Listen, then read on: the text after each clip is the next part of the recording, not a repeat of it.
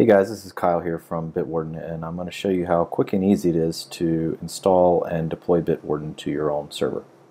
So we already have a DNS record pointing to this machine and Docker and Docker Compose are already installed on this machine. Those are two prerequisites to uh, this installation process.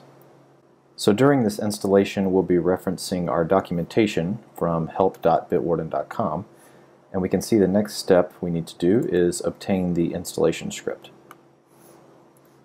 So we'll run that command. And we'll see that we now have the Bitwarden shell script. So we'll go ahead and the next step will be to run the script with the install command. It will ask for the domain name that we'll be using. The domain name we'll use here will be bitwarden.moo.com. It'll ask do we want to generate a Let's Encrypt SSL certificate in this case, uh, we're not going to, but you surely can. We'll provide an installation ID, which I already have here. We'll provide our installation key. We do not have an SSL certificate to use, but yes, we would like to generate a self-signed SSL certificate.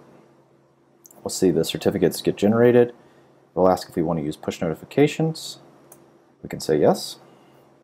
And now setup has been complete, so the next step will be just to start Bitwarden.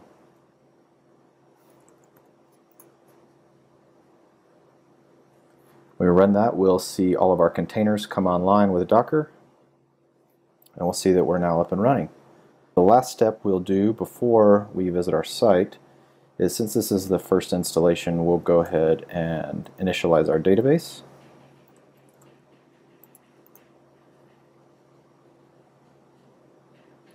And once our database is finally initialized, we're ready to go. So we will navigate to our website.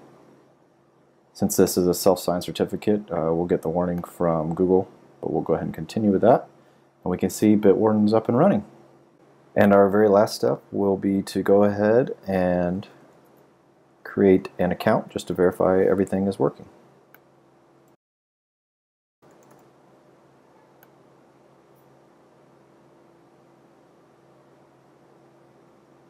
There we go, we see our accounts created and we'll log in. And there we have it, Bitwarden working on our own installation.